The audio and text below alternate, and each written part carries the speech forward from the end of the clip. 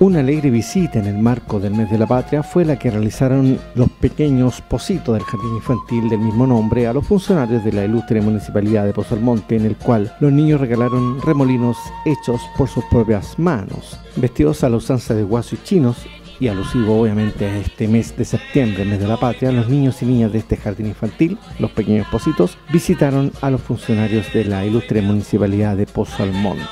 El recorrido además estuvo animado por canciones y demostraciones de afecto, ya que entre los niños y niñas se encuentran los hijos, sobrinos y nietos de muchos funcionarios municipales. La alegre mañana estuvo coronada de un paseo en la Plaza de Armas Arturo Prat Chacón de la comuna, en la que además contaron con la compañía de sus padres apoderados y los cuidadores. Lugar donde compartieron también con el alcalde de la comuna, Richard Rodríguez Aguirre, que se mostró muy afable y afectuoso con los peques, que son sin dudas el futuro de nuestra comuna de Pozo Almonte, la región y de nuestro país.